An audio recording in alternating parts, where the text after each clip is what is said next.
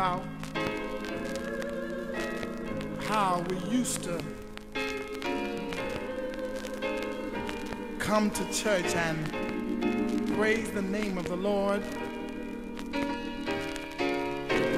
A long time ago, you could hear the people of God singing from miles away.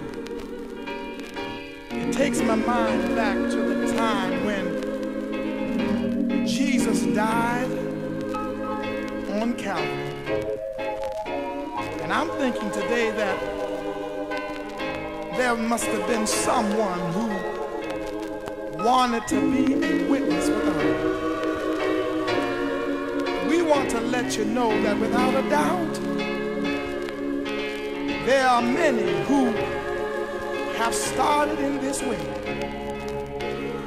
and have failed to go through. We've got a message for you.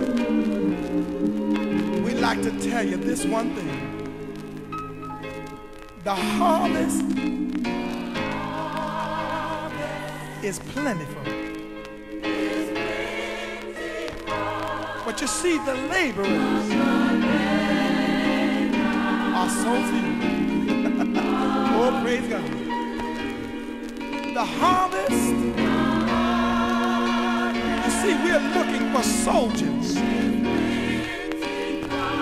But tonight, we're able to say that the laborers are few. But we want you to know without a doubt, the harvest is plentiful. But the laborers are so few. You want to know the Lord tonight, why don't you come and join in with us as we sing this song? Oh, thank the Lord. I've got a young lady who's a witness. The harvest is plentiful. but you see, the laborers, I wonder will you be a witness? The harvest, if you love the Lord, if you're listening to us, just reach your hands up to God and say, Yes, Lord. I'll be a worker in your vineyard. Oh, the labors of you. You tell them the harvest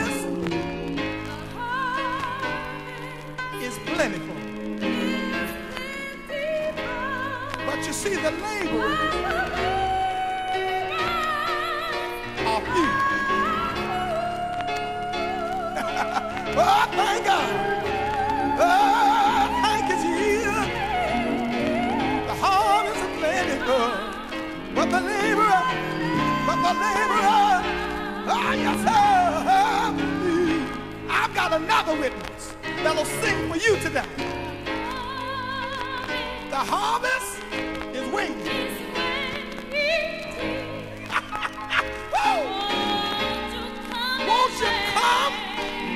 today?